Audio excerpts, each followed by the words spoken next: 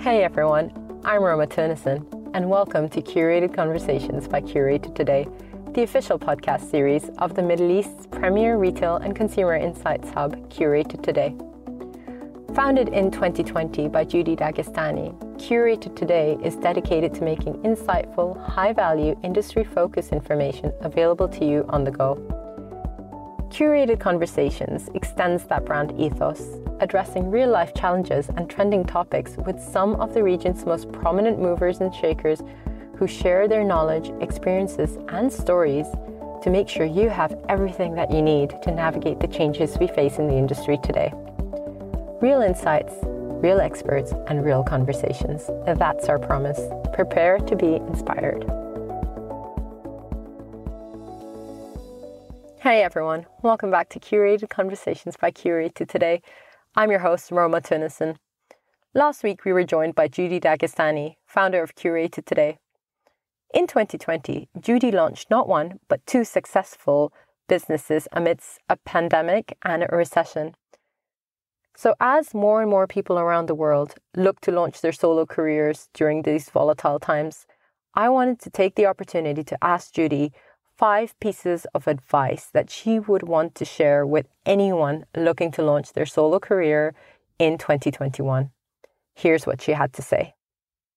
So I have five things in mind, just considering you know what I went through with a few different in- initiatives so far in 2020, the hardest year yet. Um, but first of all, the number one thing is find your niche. I always say this, but really, if you want to figure out what you're good at, but also what really drives you and motivates you, that is something that you won't have problems really growing and building. But if you're forcing yourself to do something that you're not really sure that it's needed in the market, first of all, or that you're passionate about it, just give it more time, connect with people, wait for the right time, because you don't want to just do something and waste money and time.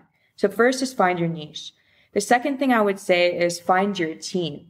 So you could either go, you know, solopreneur or you could actually get a team on board with you. But my number one thing is having really been blessed with some good teammates throughout my projects is this is what keeps you going. Bouncing the right ideas keeping each other positive and motivated during hard times uh, being you know inspired by their their uh, skills and what they've accomplished. I mean you just need the right tribe with you. So that's definitely important to be positive. The third thing i would say is love what you do. So obviously when you wake up have your routine feel good get in the groove. You never want to make your your hobby or your passion project starting out feel like it's a tedious homework assignment. So love what you do at all times and really think long term also. I would say the number one thing when you launch, the two things I would say is think long term because if you're going to launch thinking this is short term and I just want to have fun with it and then I'm going to forget about it or I might just like, you know, go on a different project, that's not really going to get you where you want to be. I would say think like you're going to have this for years. If you have an exit strategy, meaning you hope to be acquired one day or bought out or whatever, that's really great. But just don't do that right away. Think about how you will be invested yourself and how you want to grow it because it's more motivating that way. At the same time, my last tip is to really experiment after you launch. So what I mean by that is it's okay if you launch a marketing campaign or if you have a website kind of format, but it doesn't work as well as you thought. It's okay to tweak things. I mean, look, we're doing that right now with Curated. We want to tweak the branding. So it's okay to do that as well, because I think the only way to really know what's working what's not is giving yourself time to do those tweaks.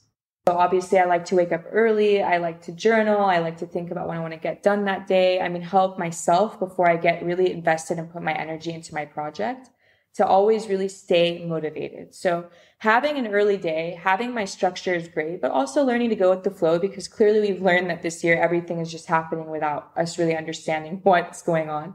So really just going with the flow and learn, learning to reach out when you need help, even through harder times, having the right team, having the right partners and just be excited. I think number one is just being excited no matter how challenging it gets. So patience is key. You're in it for the long haul. Have fun with it. And it's an amazing accomplishment just starting something on your own. So just try to remember that. We hope you enjoyed today's episode. And if you did, please don't forget to hit subscribe and leave us a rating below.